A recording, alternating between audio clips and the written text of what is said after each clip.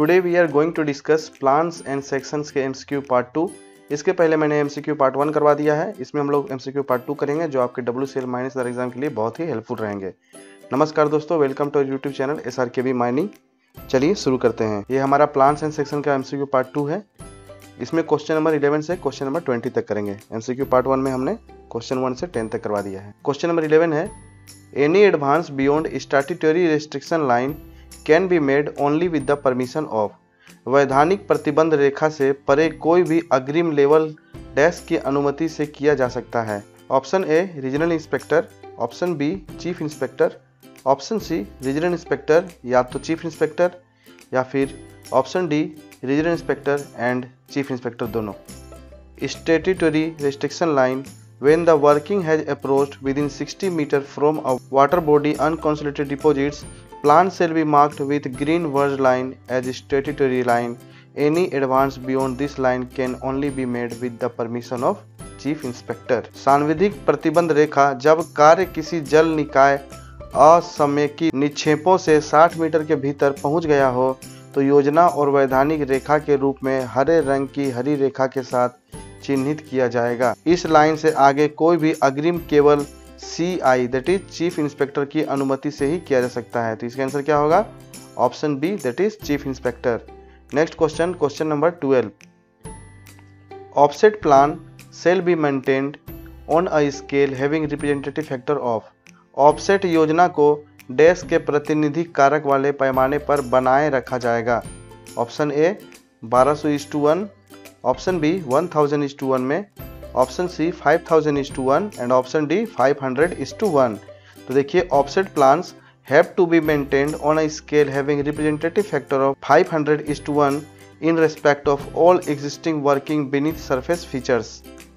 सभी मौजूदा सतह के नीचे की विशेषताओं के संबंध में ऑफसेट योजनाओं को 500 सौ इस टू एक के प्रतिनिधि कारक वाले पैमाने पर बनाए रखा जाना है। ये हमारा सर्कुलर टेक 11 बाय 1982 में दिया गया है। तो इसका आंसर हो जाएगा option D that is 500 hundred is to one next question question number 13 mine plan has to be checked when there is Khan योजना की जाँच होनी चाहिए जब वहाँ change in the ownership of mine Khan के स्वामित्व में परिवर्तन। ऑप्शन बी आफ्टर इनंडेशन बाढ़ के बाद। Option C before inundation that is बाढ़ से पहले। Option D when manager of mine is changed जब खान का प्रबंधक बदला जाता है। देखिए, रेगुलेशन 70 में लिखा गया है, plans to be checked on change of ownership और on reopening etcetera when there is a change in the ownership of a mine और वेयर अ माइन और part thereof is reopened और where in any mine और part thereof it is intended to start any extraction or reduction of pillars the owner, agent, and manager shall ensure that the plans and section of the mine or part are accurate. स्वामित्व में परिवर्तन या फिर से खोलने आदि पर जाँच की जाने वाली योजनाएँ। जब किसी खदान के स्वामित्व में परिवर्तन होता है, या जहाँ कोई खदान या उसका हिस्सा फिर से खोला जाता है, या जहाँ किसी खदान में या उसके हिस्से का उद्देश्य खंभों को निकालना या काम शुरू करना है, मालिक, एजेंट और प्रबंधक यह सुनिश्चित करेंगे कि खदान या हिस्से की योजनाएँ और खंड सटीक हैं। इसका आंसर क्या होगा? Option A that is change in the ownership of mine next question question number 14 underground plan shall show support levels underground plan support level दिखाएगा। Option A at working face कामकाजी फेस पर। Option B at goaf goaf में। Option C along haulage roadway ढुलाई सड़क के साथ। Option D travelling roadway यात्रा सड़क। देखिए रेगुलेशन 65 थ्री बी में है। Underground plan shall also show support levels on the floor of the workings along all haulage roadway at every roadway junction except in roadways भूमिगत योजना में roadways को छोड़कर हर रोडवेज़ जंक्शन पर सभी हॉलेज रोडवेज़ के साथ साथ वर्किंग के फर्श पर स्पोर्ट लेवल भी दिखाया जाएगा। इसका आंसर हो जाएगा option C that is along haulage roadway ढुलाई सड़क के साथ। Next question question number 15 when a mine has been abandoned, then the owner of a mine shall submit up to date plan of working to CI within dash of abandonment. जब एक खदान को छोड़ दिया जाएगा तो खान का स्वामी परित्याग के डैश के भीतर सीआई चीफ इंस्पेक्टर को काम करने की अद्यतन योजना प्रस्तुत करेगा। कितना दिन बताइए? Option A thirty days option B sixty days option C ninety days and option D forty five days तो देखिए रेगुलेशन सिक्सटी सिक्स है plans and sections to be submitted after abandonment closure or discontinuance where any mine or seam or section thereof is abandoned closed or the working thereof has been discontinued over a period of exceeding 60 days 60 days से ऊपर अगर बंद हो गया है the person who has the owner of the mine जो मालिक है माइन का at the time of abandonment closure और discontinuance shall within 30 days after the abandonment और क्लोजर और within 90 days after the discontinuance of the working as the case may be submit to the chief inspector ठीक है? तो इसका answer हो जाएगा क्या चीज़? 30 days. Option a is correct. Next question question number 16 in case of a mine which has been abandoned who shall submit the up to date plan of working to CI within 30 days after the abandonment. ऐसी खदान के मामले में जिसे छोड़ दिया गया है, परित्याग के 30 दिनों के भीतर सीआई को कार्य करने की अद्यतन योजना कौन प्रस्तुत करेगा? Option A new owner option B manager option C agent and option D owner of the mine at the time of abandonment परित्याग के समय खान का मालिक। देखिए रेगुलेशन 66 में हमने देखा था इंग्लिश में, ये हिंदी में है, खानों के परित्याग बंद या कार्य बंद होने के बाद प्रस्तुत की जाने वाली प्लान्स और अनुभाग। जहाँ कोई खदान या सीम या उसका खंड छोड़ दिया जाता है, बंद कर दिया जाता है, या उसका काम 60 दिनों से अधिक की अवधि में बंद कर दिया जाता है, वह व्यक्ति जो परित्याग बंद या बंद करने के समय खान का मालिक, खान का मालिक था वो परित्याग या बंद होने के 30 दिनों के भीतर या कामकाज के बंद होने के 90 दिनों के भीतर जैसा भी मामला हो, मुख्य निरीक्षक को दो सच प्रस्तुत करेगा अद्यतन योजना और खान के कामकाज के अनुभाग की प्रतियाँ। इसका आंसर क्या हो जाएगा? Owner of the mine at the time of amendment Khan का मालिक उस परित्याग के समय का। तो इसका आंसर डी चलिए नेक्स्ट जानते हैं हम लोग डिफरेंस के बारे में। Difference between abandoned working discontinued working and disused working परित्यक्त कार्य, बंद कार्य और अप्रयुक्त कार्य के बीच का अंतर। तो देखिए एबंडेंट वर्किंग क्या होता है? Such working which have been abandoned with no intention of working in future ऐसे कार्य जिन्हें भविष्य में काम न करने के इरादे से छोड़ दिया गया है मतलब बंद कर दिया गया है, उसमें कोई कार्य नहीं होगा। नेक्स्ट है हमारा डिसकंटिन्यूड वर्किंग डिसकंटिन्यूड वर्किंग क्या होता है?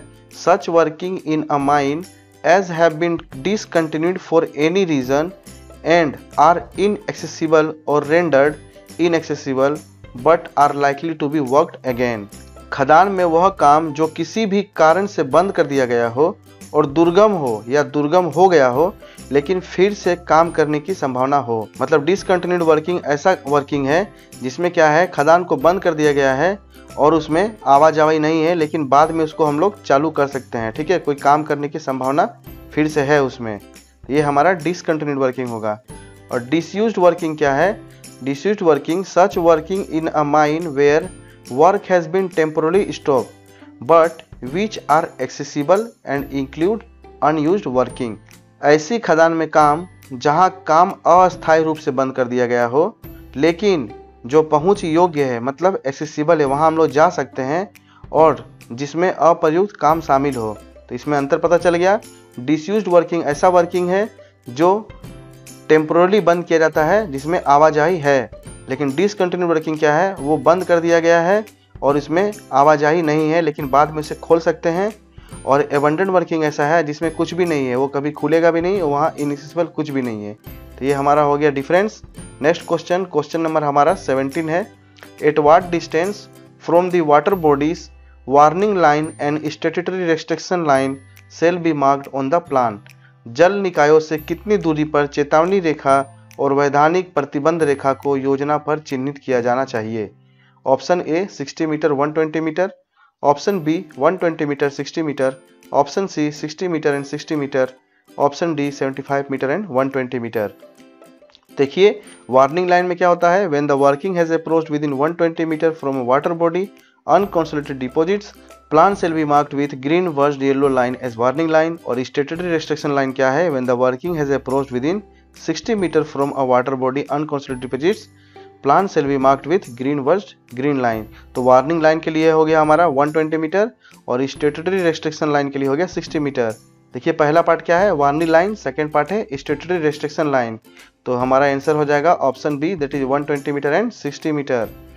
अगर आपने हमारा टेलीग्राम ग्रुप नहीं ज्वाइन किया है तो S R K B mining हमारा टेलीग्राम ग्रुप है, उसे आप ज्वाइन कर लें। उसमें मैं हर वीडियो का पीडीएफ प्रोवाइड करता हूँ तो उसको आप लोग ज़रूर ज्वाइन करें। नेक्स्ट क्वेश्चन, हमारा क्वेश्चन नंबर 18 है plants and sections shall not be removed without permission of dash and after keeping the true copy in office of the mines. खानों के कार्यालय में डैश की अनुमति के बिना और सच्ची प्रति रखने के बाद योजनाओं और अनुभागों को हटाया नहीं जाएगा। ऑप्शन ए ओनर की अनुमति के बिना। ऑप्शन बी मैनेजर की अनुमति के बिना। ऑप्शन सी चीफ इंस्पेक्टर की अनुमति के बिना। And option D regional inspector तो देखिए रेगुलेशन 64 में है plants and sections required to be maintained under this regulation shall be kept available for inspection in the office at the mine and shall not be remove therefrom except by और with the approval in the writing of regional inspector unless a true copy thereof has been kept therein तो इसका answer क्या होगा?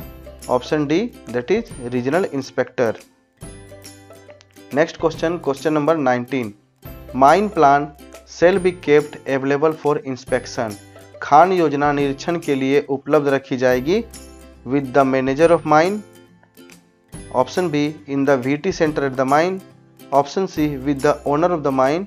And option D, in the office at the mine तो देखिए, regulation 64 six में लिखा गया है plans and section required to be maintained under these regulations shall be kept available for inspection in the office at the mine तो इसका answer क्या हो जाएगा? Option D that is in the office at the mine next question question number twenty mine geological plan may be maintained at a scale having a representative factor of Khan भूवैज्ञानिक योजना को dash के प्रतिनिधि कारक के पैमाने पर बनाए रखा जा सकता है।